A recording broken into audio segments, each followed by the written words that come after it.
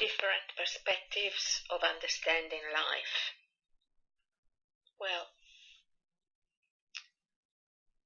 we think often that everything has been explored and understood, practiced, and therefore we accept it. We don't question it. We go along with it. And in some ways, we might risk feeling a bit stale inside in the sense that perhaps we don't find motivation to do something because we don't understand the point of it, especially if it's already been done, experimented, found out. And at the end of the day, perhaps if we tried to expand a little bit our vision and our thoughts, we may find it's not so.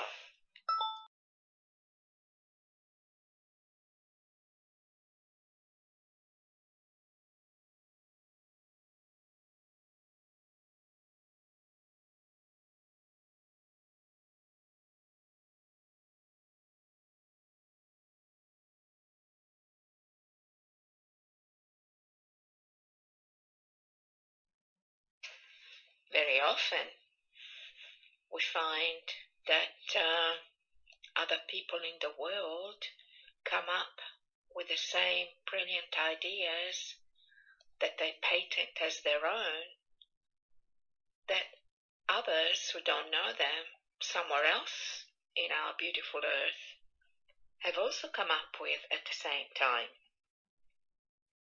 So we start pondering, hmm, strange, interesting. Is our thought really our own?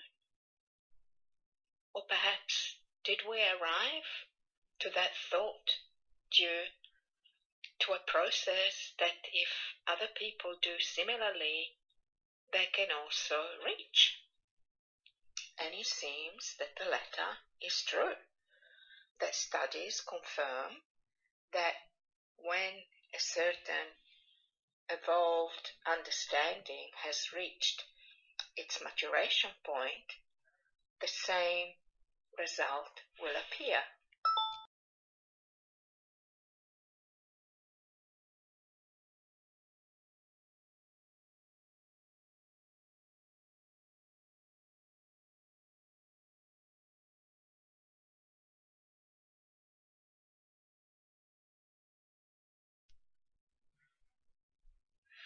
That is to say that as more and more scientists seem to be stating or and implying that we don't really think in our own head and more likely we are instead antennas receiving the information the right frequency the right ideas and ways of moving on and furthering the world via an external to us field of information, which is the terminology also used by scientists, whereby we tap into what is already there to make it our own and with our previous knowledge on something else,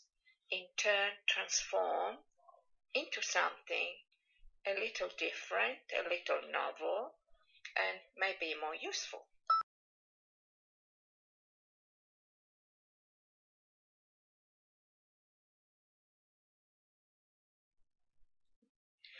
So, when we see all of these things happening, it becomes a little dangerous to believe that we all have all answers. Number one, because they keep on transforming. Number two, because it's not just we on earth, that we, is much broader than we made it to be.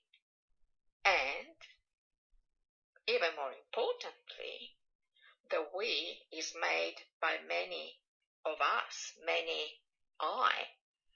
And I certainly have understanding of what, if I want to understand it, that is, what I'm all about. On the other hand, maybe it's incorrect to say, I did this, I invented that, I, I, I.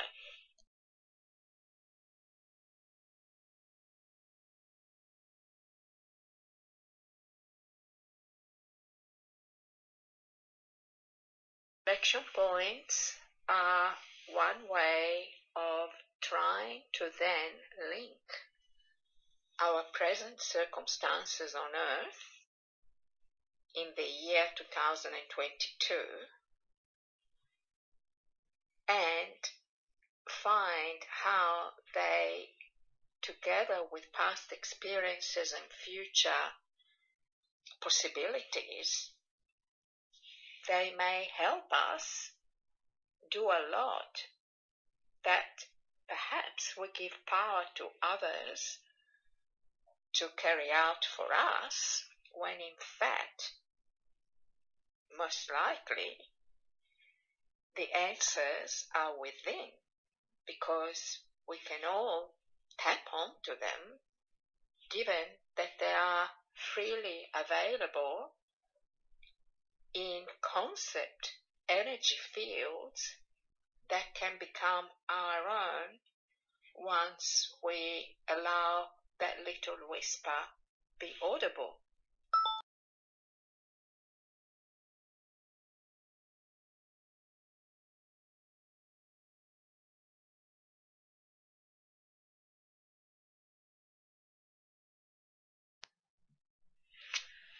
Collection of different images with some reflections and mainly more involved writing with links of information that's already out there will hopefully and thus be helpful to any of those people who do understand that life is forever transforming, nothing is set in stone, and we can all do our own part to first improve our own daily existence, and then once we know how to do that better, perhaps share it with others in any way we can so that together we can move to better ways of coping with life and enjoying it.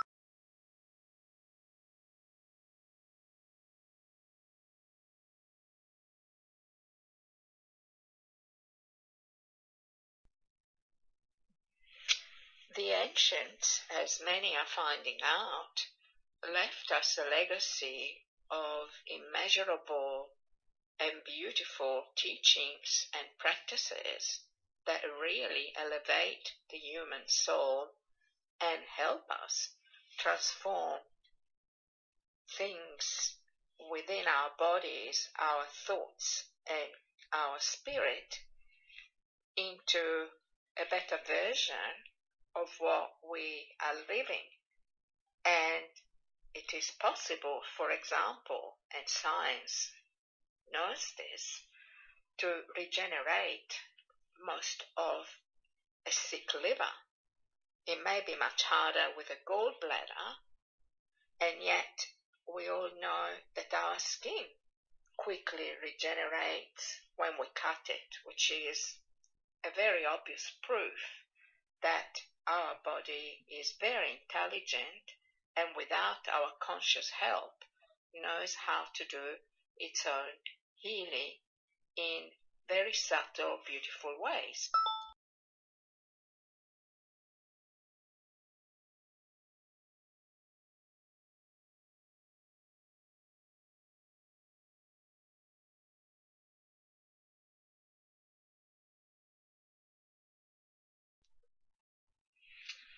One of such practices is the ancient art of mudras. They deal with movements of your fingers in your hands that are usually held for some seconds, sometimes for some minutes, which are generally practiced daily, sometimes more than once, often as frequently as one feels comfortable. And these practices are very good to balance certain aspects of our mind, body, and soul that for some reason have gone out of kilter. Yet, and unfortunately, they're not yet common knowledge a lot of Asian people do know about them, many Westerners don't.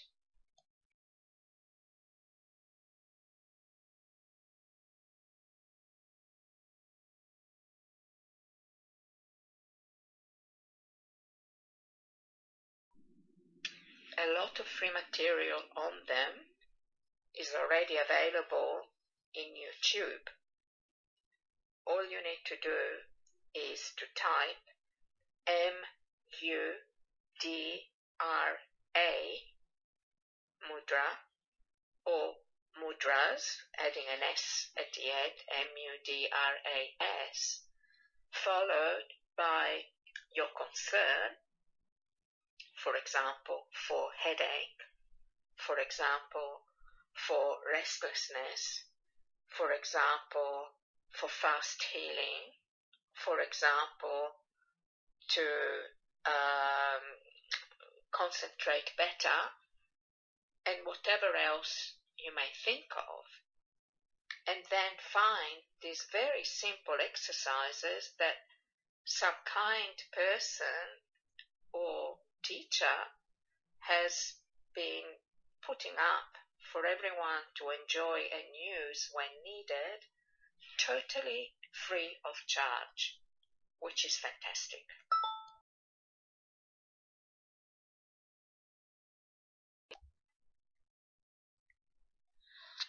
Underneath each of these presentations with the spiel you've just heard, therefore, you will find specific links to some of these people whose work is online and or the actual links to specific such exercises.